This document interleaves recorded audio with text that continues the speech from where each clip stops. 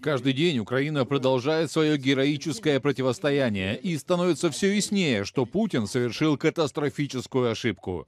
Стоит задаться вопросом, почему он это сделал? Почему он решил напасть на эту абсолютно невинную страну? Конечно же, он не верил, что Украина в обозримом будущем станет членом НАТО.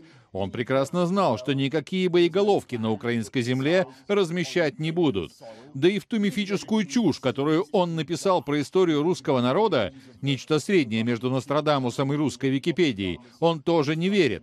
Я не думаю, что дело в этом. Я думаю, что он боится Украину по совершенно другой причине. Он боится, потому что в Украине есть свободная пресса. В Украине есть свободные выборы. И с каждым годом, когда Украина становилась все ближе, хоть и не без ошибок, к свободе, демократии и открытым рынкам, он боялся украинского примера все сильнее. И он боялся, что это неизбежно случится с ним, потому что в путинской России тебя сажают на 15 лет в тюрьму за то, что ты называешь вторжение вторжением. А если ты хочешь побороться с Путиным на выборах, тебя или отравят, или застрелят. Так и происходит.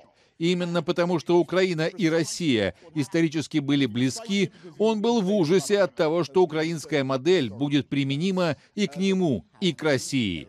Он в панике из-за возможности так называемой цветной революции в Москве. Вот почему он пытается с такой жестокостью потушить пламя свободы в Украине. И вот почему так жизненно важно, чтобы он не